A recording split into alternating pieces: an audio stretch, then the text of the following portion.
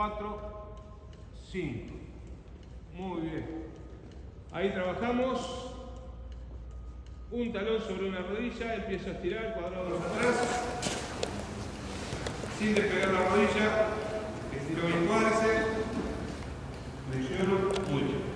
Vamos a hacer dos trabajos del lado pélvico. Uno con dos apoyos y el otro con un solo apoyo. Talones apoyados, una vez arriba.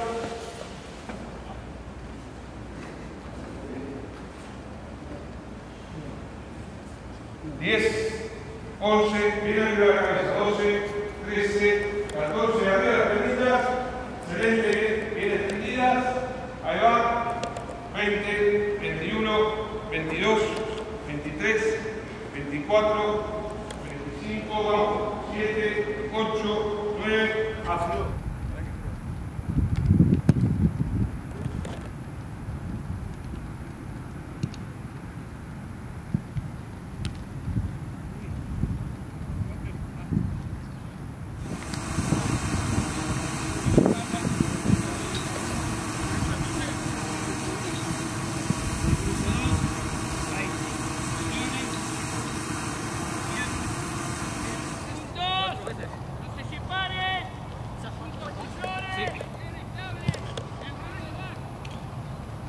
Dice que eres de